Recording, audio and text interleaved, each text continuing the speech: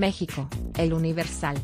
Guión sicarios del Estado de México fueron contratados para matar al cardenal emérito de México, Norberto Rivera Carrera, según me revelan fuentes de primer nivel involucradas en la investigación del ataque del domingo en casa del clérigo, en la colonia Florida de la alcaldía de Álvaro Obregón, en la Ciudad de México, señala el periodista Carlos Lorete Mola.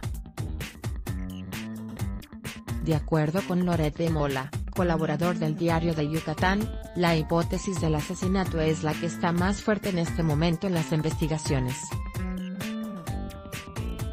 Incluso a las autoridades les parece sospechosa la actitud del escolta del arzobispo primado de México emérito, pues aparentemente no habría hecho nada durante el ataque, y se preguntan si estaría coludido con el comando que llegó a la vivienda del prelado para realizar esta ejecución. Según la investigación oficial, el asesinato no se llevó a cabo porque los presuntos sicarios mexiquenses no esperaban la reacción del elemento de la PBI que repelió la agresión a costa de su vida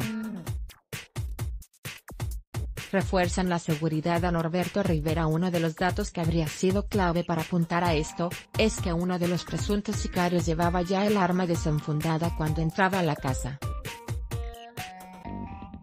Ese tiro está cantado, me sintetiza una fuente, dejando claro que las autoridades no descartan que quienes hayan mandado matar al cardenal siguen con esa idea en la cabeza y seguramente lo intentarán de nuevo, por lo que se ha reforzado la seguridad en su entorno.